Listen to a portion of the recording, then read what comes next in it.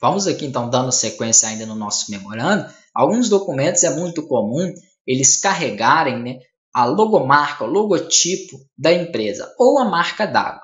Vamos inserir nesse nosso memorando um logotipo, a logomarca da empresa, aqui na parte superior do nosso documento. Então, vou colocar aqui na superior esquerda. Para inserir uma imagem, eu mostrei para vocês, inserir imagens. Realmente o logotipo é a imagem aí né, da empresa. Como eu não tenho nenhum logotipo criado, eu vou colocar uma imagem qualquer, já que é demonstração mesmo. Então, vou pegar, por exemplo, essa imagem aqui, que está dentro lá da minha pasta de imagens. Vocês podem selecionar qualquer imagem que vocês queiram e vou dar um duplo clique.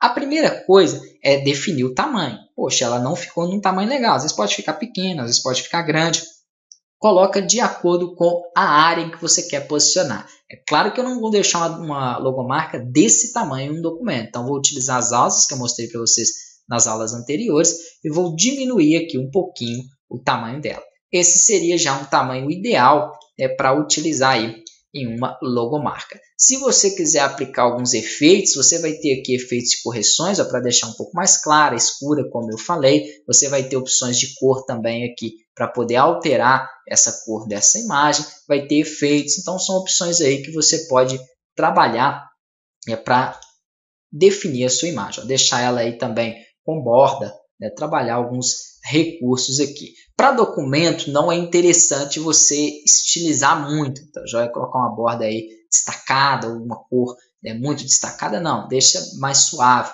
mais é, padrão mesmo aí a sua logomarca. Então, não aconselho aí fazer essas modificações. O máximo aí, modificações de correções, caso a imagem esteja muito clara ou esteja muito escura. Agora, eu falei que eu quero posicionar aqui na parte superior, né? E eu não posso simplesmente clicar e arrastar porque eu não defini ainda a formatação da minha imagem. Então, clica sobre ela para selecionar, vem em formatação de imagem e define a quebra de texto automática para ela. Clicando sobre quebra de texto automática, eu vou selecionar aqui, por exemplo, a opção justa. Qualquer uma das opções ali, eu posso arrastar entre o texto. E vou colocar aqui na parte superior.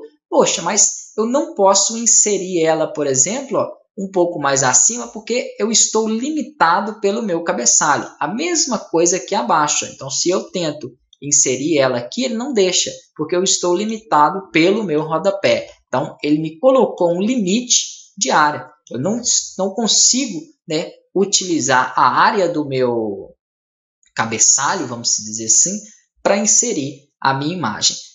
O que, que eu posso estar tá fazendo aqui? Nas minhas quebras de texto, eu vou ter aqui opções, por exemplo, igual superior e inferior. Superior e inferior, ele vai ficar na parte de cima aqui do meu texto. O meu texto fica abaixo, mas ainda assim ela já coube aqui, eu poderia mantê-la aqui mas ainda assim eu não tenho ela na área do cabeçalho. Então, algumas opções aqui da, da, da, imagem, ele não vai permitir você inserir ela dentro do cabeçalho. Você precisa fazer o seguinte, vou dar um duplo clique sobre a área do meu cabeçalho e aqui dentro das ferramentas e, e ferramentas de cabeçalho e rodapé, eu tenho como inserir uma imagem naquela opção.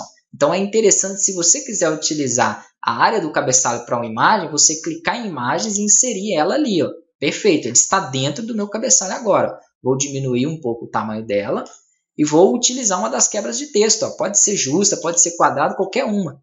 E ele vai me permitir inserir esta imagem na área do cabeçalho. Tendo inserido a sua logo ali, você pressiona ESC para sair do cabeçalho. Vou clicar né, ESC novamente aqui, ó, saiu. Vou clicar sobre a minha imagem e vou deletar.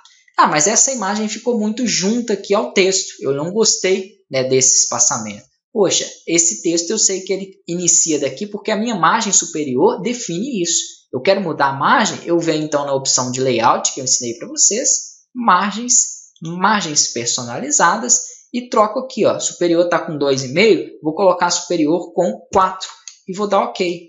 E aí ele abre um espaço maior na parte superior, como vocês podem ver. Se o memo aqui der referência de erro, botão direito, ignorar, e ele ignora novamente aquele erro.